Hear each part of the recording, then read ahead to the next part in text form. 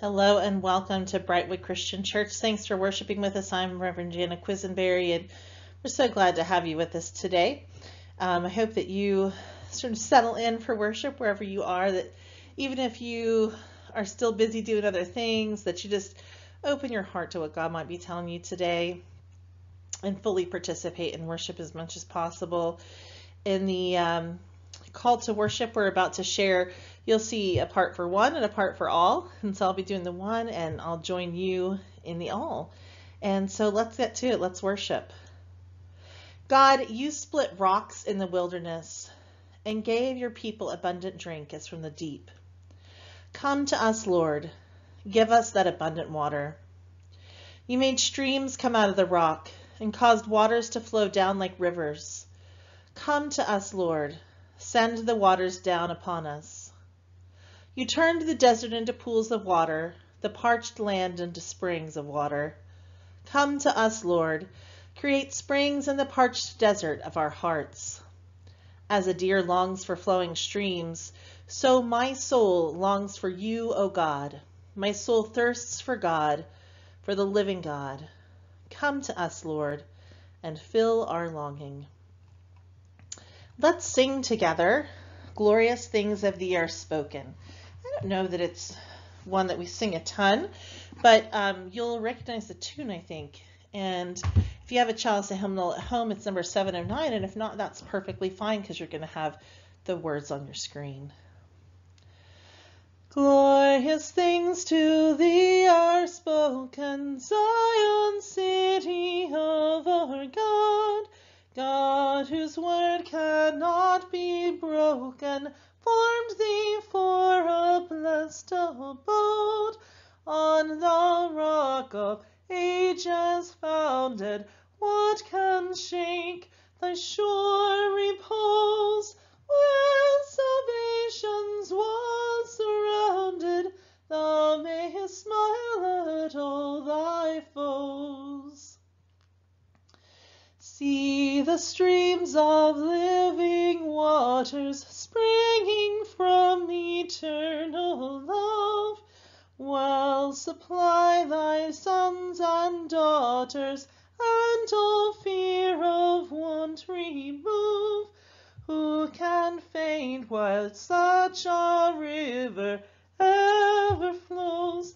Thy thirst to assuage,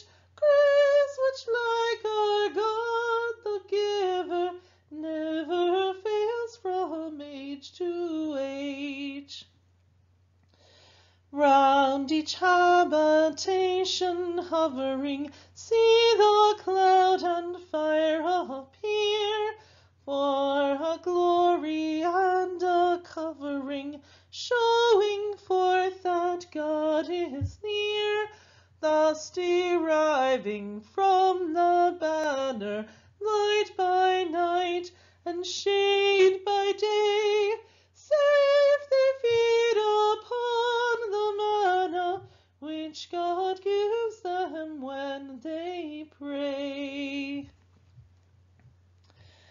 Will you enter into a spirit of prayer with me? All knowing and all caring God, we gather this day drained by another week. We're like a parched desert, empty and in need of replenishment. Visit us with your presence, saturate us with your spirit, and bathe us in your streams of living water, that our lives might acknowledge and worship you to the praise and honor of Jesus Christ, in whose name we pray, saying, Our Father, who art in heaven, hallowed be thy name. Thy kingdom come, thy will be done, on earth as it is in heaven. Give us this day our daily bread, and forgive us our debts as we forgive our debtors. And lead us not into temptation, but deliver us from evil. For thine is the kingdom, and the power, and the glory forever. Amen. We're going to be singing Wade in the Water as we prepare to pray for God's people. It's 371 in the Chalice Hymnal. I'm just giving you a little warning about this. This is a spiritual. This is a traditional African American spiritual, and it's beautiful, and I love it. And um, because of sort of how it's designed, it can kind of go a lot of different ways. And I, I had some fun listening to some different performances of this um, from choirs and jazz bands and soloists. And um, it seems like people do it very differently every time you hear it.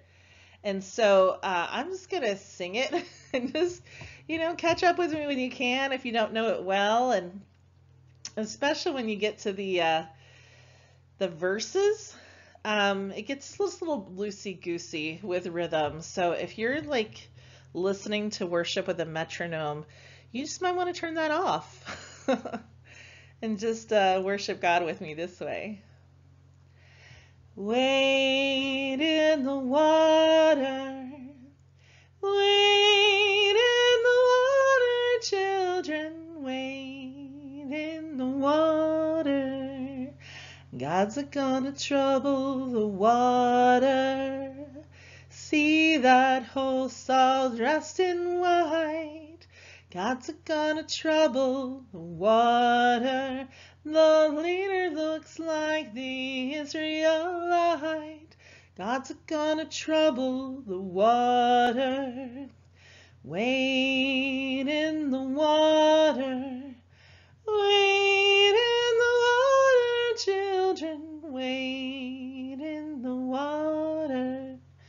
God's a gonna trouble the water.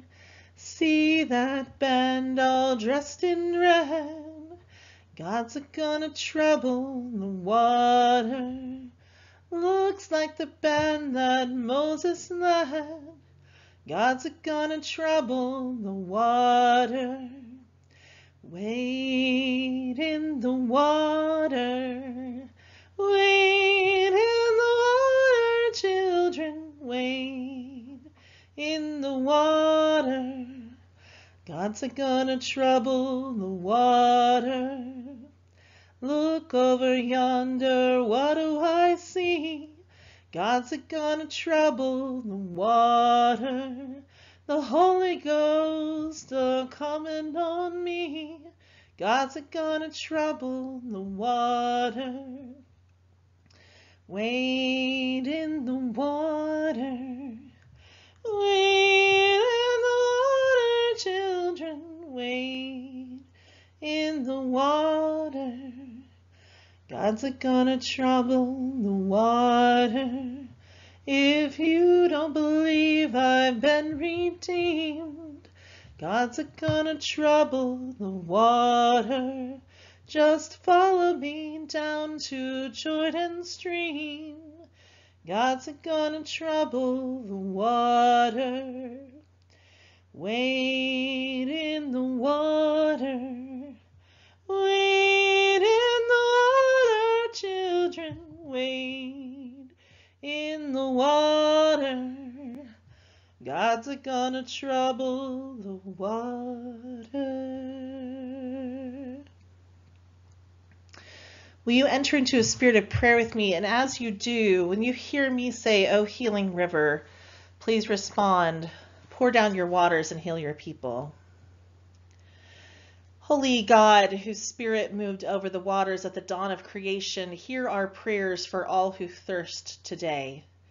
We pray for those who are spiritually thirsty, who long to know your presence but don't know where to find you. We pray for those who are alone and without hope, those who long to feel needed and loved, those who are searching for meaning and purpose.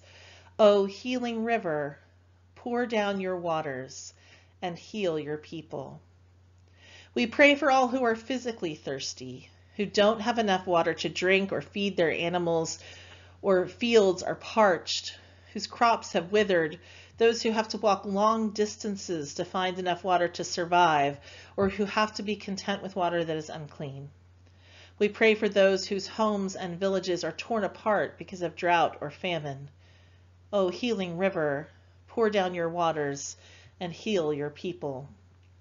We pray for those who are thirsty for justice, who long for an equal sharing of resources among peoples and nations, those who put their lives at risk to protect streams and rivers and oceans, those who are working to find clean water and make it available to those who need it. O healing river, Pour down your waters and heal your people. God, we ask that you would open our hearts to the needs of all who thirst. Give us courage to work together for justice, to stand alongside those who are thirsty, so that all people everywhere may live without want or fear and may discover the abundant life you promised to each one. In the name of Jesus Christ, the source of living water, we pray. Amen. As we approach the table of the Lord today, I want you to imagine being in his sanctuary and the size serving that you get uh, of communion. Serving sizes are really strange here in the United States. Around the world, they're a little bit more normal size. Here, it's kind of Alice in Wonderland size. You ask for a small, and it's like 32 ounces. I'm right now drinking out of a very large cup of coffee. Um, but when it comes to communion, the serving size is pretty small.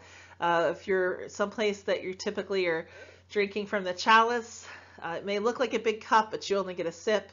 Um, if you're someplace that has very small uh, cups that are individually sized, um, you notice that you're probably not going to quench your thirst with that cup.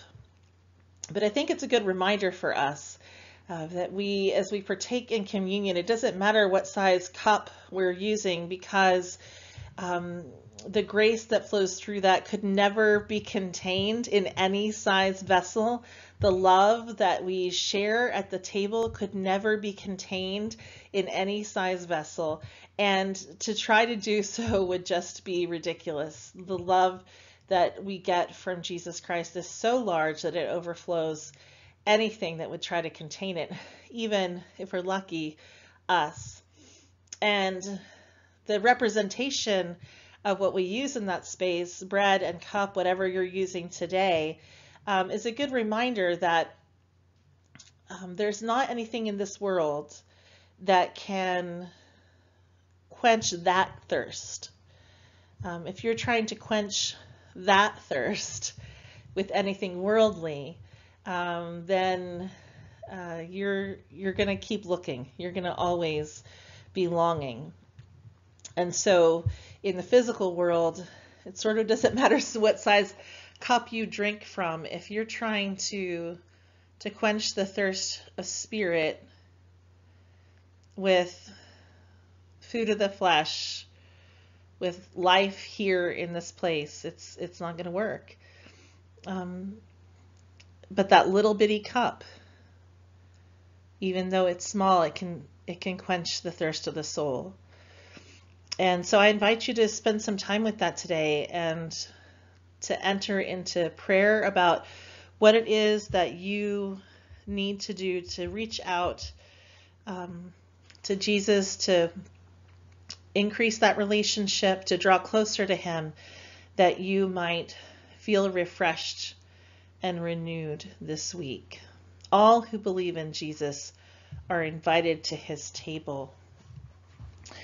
We're going to be um, singing our communion hymn today after we have our words of institution and prayers because um, this particular communion hymn is more of a meditation. And um, so it's appropriate to sort of pause and partake after we pray over the supper and then um, to meditate through this through this communion hymn. So you'll see those reversed today. As they were eating, Jesus took the bread, gave a prayer of thanksgiving for it, and gave it to them, saying, Drink of it, all of you. This is the new covenant in my blood, poured out for you for the remission of sins. Do this in remembrance of me. And in the same way, after supper, Jesus took the cup and gave a prayer of thanksgiving for it, and gave to them, saying, Drink of it, all of you. This is the new covenant in my blood, poured out for you for the remission of sins. Truly I tell you, said Jesus, I will not drink again of the fruit of the vine until I drink it new with you in my Father's kingdom. Will you pray with me? Holy God, thank you for this feast. Big or small in our own homes, lavishly decorated cups, or plain and plastic. There's nothing that could contain who you are anyway but we are grateful for the river of life that flows through this moment. We ask that you bless us, that our thirst for spirit may be quenched, and that we might be revived and refreshed to go forward into your world this week, to be springs of living water. These things we ask in the name of Jesus. Amen.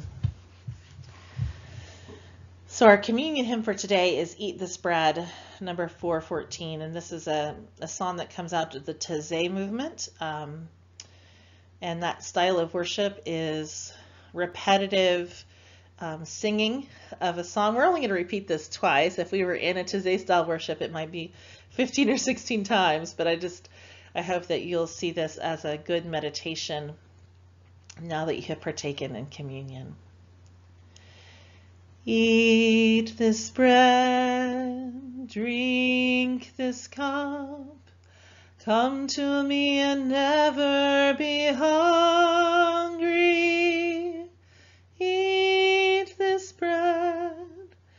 Drink this cup. Trust in me and you will not thirst. Eat this bread Drink this cup. Come to me and never be hungry.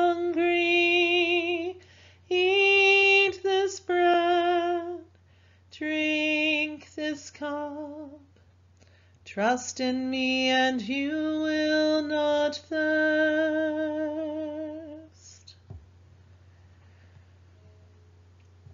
Our scripture for today is John 4, 1 through 14.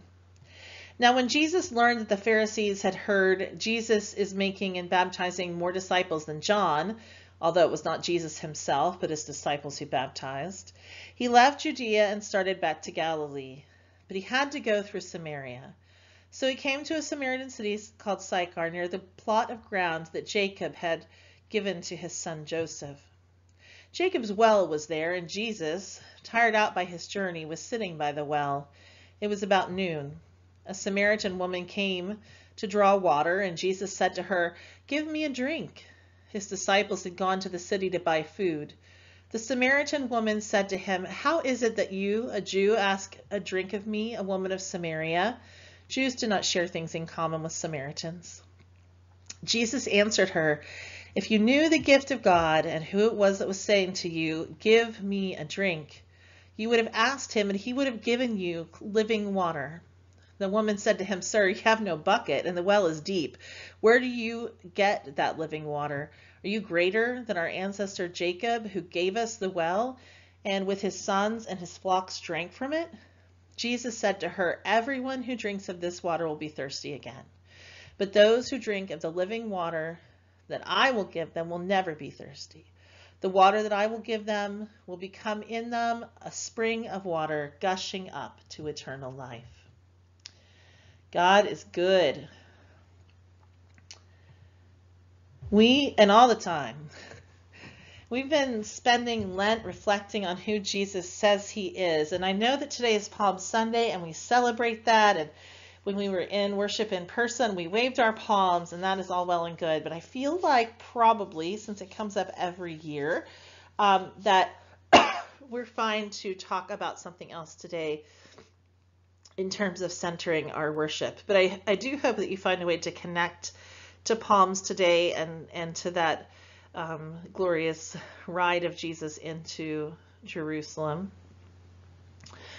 But we're going to keep um, working on who Jesus says he is as we approach the cross this Holy Week. Uh, all of our other statements, Jesus has used a formula. I am. You know, I am the good shepherd. I am the gate for the sheep. I am the bread of life.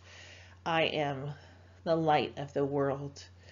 Today's scripture is not quite as simple, but Jesus is revealing himself to us in a special way, a way that, like the other statements, connects Jesus to who God is and what God has done in the Old Testament so that we can understand everything that's happening with Jesus as a fulfillment of the promise of God. And so today's scripture is the story of the woman at the well. It's a familiar enough story, and we just heard it. So there's a lot more that we can flesh out of it. Um, but I don't think we have to rehash the story again. But since Jesus' claims of who he is in all these I am statements links to who God is in the Old Testament, I want to remind us of other sacred moments at the well. And so let's go all the way back to Genesis, uh, the first book of the Bible. Isaac has sent Jacob away to find a wife from his maternal grandfather's family. And and you know sometimes in in the past people have um, made sure that that marriages sort of stayed fairly close to the families um, to protect wealth or to keep hold of land. But this particular decision um, Isaac made to actually to try to keep close to God because the people that were living around Isaac uh, did not um, know and love God. And so he wanted to make sure that Jacob found a wife from the people of God. And so it's on this journey where he encounters and wrestles with God. At the end of that journey, he finds a well and a shepherdess. And we can hear these words in, uh, in Genesis 29. While he was still speaking with them, Rachel came with her father's sheep, for she kept them. Now, when Jacob saw Rachel, excuse me, the daughter of his mother's brother Laban, and the sheep of his mother's brother Laban, Jacob went up and rolled the stone from the well's mouth and watered the flock of his mother's brother Laban. Then Jacob kissed Rachel and wept aloud. He knew that his journey was at an end and he was grateful to have found where he was going after such an arduous journey, and he took the time to to water the sheep with her. And later, um, we see Moses, and Moses, who grew up in the house of Pharaoh, Moses who who fled Pharaoh after killing an Egyptian when the Egyptian was hurting a Hebrew person. Uh, Moses runs away, runs to Midian, and you may have guessed he sits down by a well. And then Exodus 2 tells us the priests of Midian had seven daughters. They came to draw water and filled the troughs to water the, their father's flock. But some shepherds came and drove them away. Moses got up and came to their defense and watered their flock. When they returned to their father Reuel, he said, How is it that you've come back so soon today? They said, An Egyptian helped us against the shepherds. He even drew water for us and watered the flock. He said to his daughters, Where is he? Why did you leave the man? Invite him to break bread. Moses agreed to stay with the man, and he gave Moses his daughter Zipporah in marriage. So, in today's scripture, we see yet another man of God at a well with a woman. Jacob and Moses had showed extraordinary kindness to the women they found at their wells, but more importantly, through those encounters, God was fulfilling his promises. See, when Jacob meets Rachel, that's the beginning of, of a family of God that um, would be the, the 12 tribes of Israel. This is, this is the fulfillment in so many ways. This is the, the big beginning of the fulfillment of God's promise to Abram that um, he would make of him a great nation. And that all starts right there at that well in their kindness to one another. And so God was fulfilling his promise at that well with Jacob to create a people. And then when we see Moses at the well, this is the beginning of his relationship, his deep relationship with his people for the first time, with being a Hebrew, with being in a relationship to God, um, having lived in the Pharaoh's house his whole life and been exposed to the gods of the of the Egyptians. This is the moment when he's surrounded by people who love Yahweh God. He would know that name later.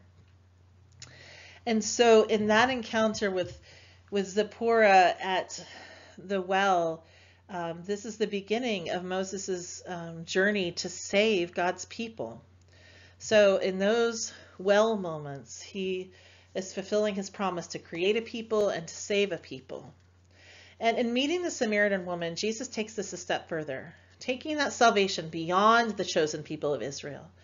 The Samaritans still exist, of course, about a thousand at last count. There's not many of them, and They consider themselves to be those who stayed in Israel during the Babylonian captivity um, when the most of the Jews um, were taken to Babylon, um, and they feel like the Jewish religion was sort of poisoned by Babylonian influence then.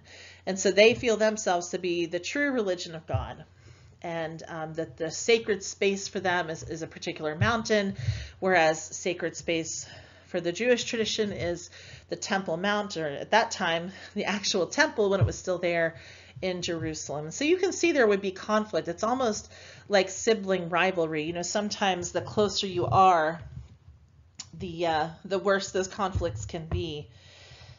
And so this Samaritan woman, just by the fact that she's a Samaritan, is an outsider. And you add to that the sinfulness of this woman that's so often the focus of our meditations on the scripture. Later uh, in their encounter, you find that that she's had several husbands, um, a little more common today, but, but frowned upon at the time. And um, and most people would have seen her as sort of the height of sinfulness. And um,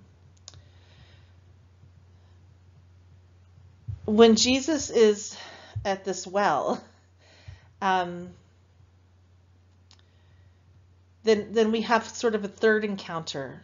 We've had encounters at the well that fulfilled God's covenant to Israel by helping to create the nation of Israel, and encounters at the well um, that would help to save the nation of Israel. And now Jesus, by his encounter at this well, begins to break open the covenant that was made to Abraham so that it extends beyond the people of Israel and to the whole world. And not just the good people or the right people, but all the people. So keeping in mind the history at the well, let's listen again, beginning in verse 11, to see who Jesus is saying that he is today. The woman said to him, Sir, you have no bucket, and the well is deep. Where do you get that living water? Are you greater than our ancestor Jacob, who gave us the well, and with his sons and flock drank from it? Jesus said to her, Everyone who drinks of this water will be thirsty again, but those who drink of the water that I will give them will never be thirsty. The water that I will give becomes in them a spring of water gushing up to eternal life.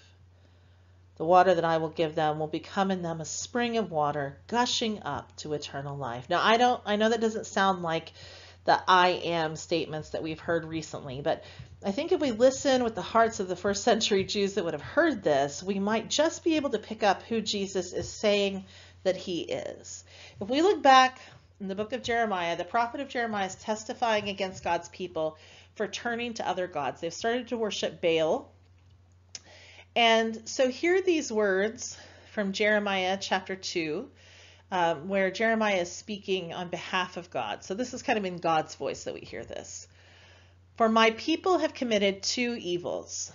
They have forsaken me, the fountain of living water, and dug out cisterns for themselves, cracked cisterns that can hold no water. They have forsaken me, the fountain of living water so when Jesus says, The water that I will give will become in them a spring of water gushing up to eternal life, where do we get water? A fountain. Jesus is taking on the mantle of being the fountain of living water. Water so alive that once you have it, you too become a fountain. Just as once you take in the light of the world, you become the light of the world. Throughout the prophets, living water is linked to God's provision and God's justice, and Jesus as Messiah is the living promise of that provision to those who are in need, both of the salvation of the spirit and the day-to-day needs of the flesh. We hear in Isaiah 55, Come everyone who thirsts, come to the waters, and he who has no money, come and buy and eat. Come buy wine and milk without money and without price. Zechariah 14:8 on this day, on that day, living waters shall flow out from Jerusalem, half of them to the eastern sea and half of them to the western sea. It shall continue in summer as in winter. Isaiah 58:11 As the Lord will guide you continually and satisfy your desires in scorched places and make your bones strong, and you shall be like a watered garden, like a spring of water whose waters do not fail. Isaiah 41 When the poor and needy seek water and there is none, and their tongue is parched with thirst, I, the Lord, will answer them. I, the God of Israel, will not forsake them. I will open rivers on the bare heights and fountains in the midst of the valleys. I will make the wilderness a pool of water and the dry land springs of water. And it's in this encounter with this outcast woman at the center, at the well, that Jesus also proclaims himself Messiah in verse 21 of the same chapter. They're discussing the differences in their religion. And Jesus said to her, Woman, believe me, the hour is coming when you will worship the Father neither on this mountain nor in Jerusalem. You worship what you don't know. We worship what we know, for salvation is from the Jews. But the hour is coming and is now here when the true worshippers will worship the Father in spirit and in truth, for the Father seeks such as these to worship him. God is spirit, and those who worship him must worship in spirit and truth. The woman said to him, I know that Messiah is coming, who's called Christ, and when he comes, he will proclaim all things to us. And Jesus said to her, I am he, the one who is speaking to you. In the Gospel of John, this is the first time that he admits to being the Messiah. In fact, it's kind of the only time that he is the one that admits it outright, although others say it for him instead. If there's a takeaway from the scripture, maybe it's that Jesus chooses to reveal himself to the least likely person in a place that is so full of the echoes of God's promises fulfilled. Not only is God's promise fulfilled in Jesus, but is so full and overflowing that it reached past the borders of Israel and the walls of righteousness to all the world. Jesus shouldn't even be at that well. He certainly shouldn't be at that well alone with a woman. And he certainly shouldn't be at that well drinking from water that is Samaritan's water. And here he is, not only drinking, but engaging and promising and giving himself and sharing who he is with her.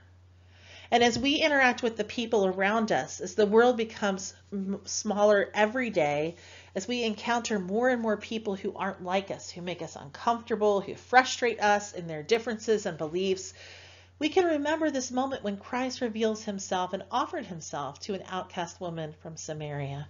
And we can use the kindness and the love that we've become as living water to, to share with the world, to, to overflow that grace to all that we meet. The other thing that we should remember is to be careful that we're drinking from the fountain, that we accept the offer of living water. Remember those words from Jeremiah For my people have committed two evils. They have forsaken me, the fountain of living water, and dug out cisterns for themselves, cracked cisterns that can hold no water. If we find ourselves wanting, thirsting for something we can't name, even though by all rights we should be filled up, we should be happy, then we need to pay attention to where we're drawing our water. There's nothing in this world that will satisfy, no matter how much we think it will. There's no point when chasing after the things of this world that we will get the deep commitment, meaning, and joy that we find in Jesus, because the things of this world hold no water. Let's sing together, Fill My Cup, Lord number 351 in the Chalice Hymnal. Like the woman at the well, I was seeking for things that could not satisfy. And then I heard my Savior speaking, Draw from my well that never shall run dry. Fill my cup, Lord, I lift it up, Lord.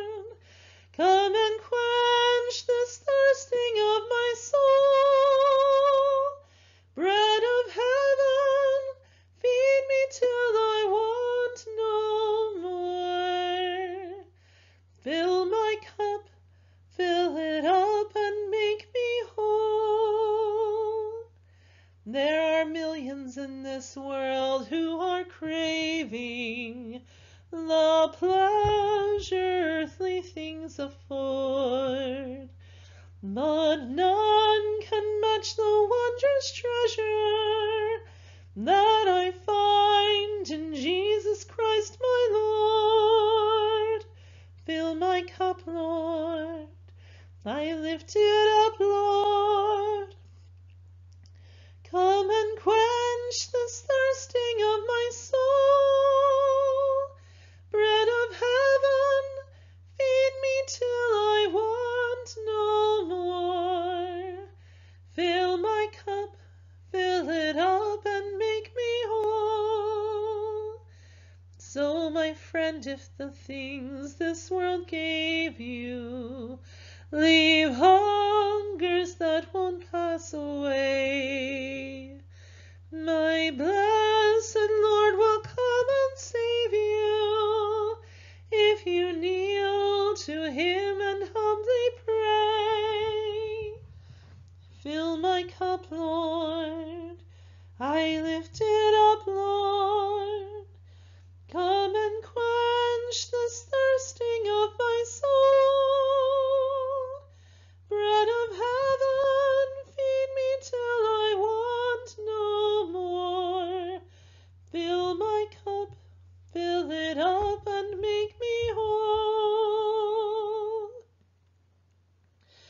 now from the service of worship to the service of God's people near and far, refreshed by the living water that Jesus offers to you.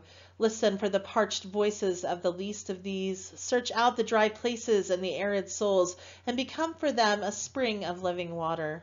And as you go, may the blessings of the God of life, the Christ of love, and the Spirit of grace be upon you this day and forevermore. Amen.